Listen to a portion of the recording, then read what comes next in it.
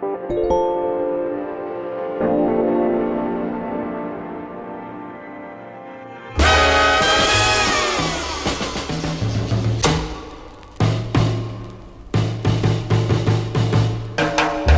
And we're delighted to bring to you yet another world exclusive on the Watches TV for the launch of one of the most awaited product launch of 2015. We're here in Baden-Baden, southern Germany, for the launch, official launch of the Opus 14 by Harry Winston. And as you can see, we're in plunge in a 1950s ambiance, and you'll shortly know why.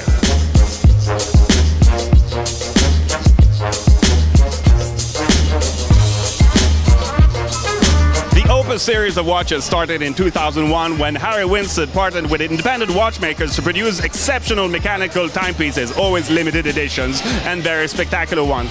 This year they partnered with uh, watchmakers uh, Franck Orny and Johnny Girardin to make this incredible 50s-like, uh, jukeboxy-like uh, Opus 14.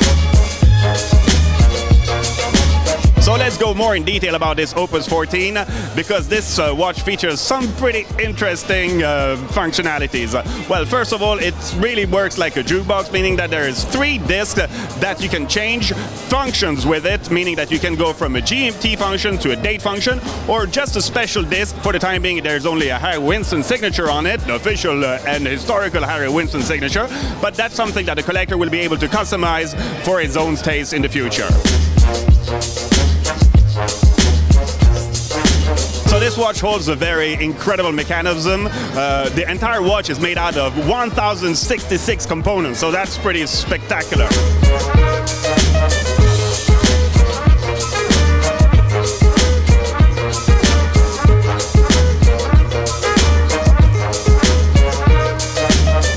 Terms of design, I think it's very Harry Winstonish. It has this little uh, Histoire de Tourbillon uh, feel to it. And how does it work? At 3 o'clock, you have a, a, regular crown that helps you wind the clock and set the time.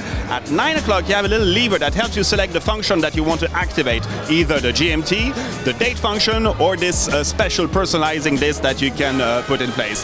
how to activate the function? Well, at 4 o'clock, you have a little button that will help you just change those discs as you wish. Opus 14 comes into a white gold case, and one of the interesting features is this multi-layered glass, which is carved out of one block of sapphire.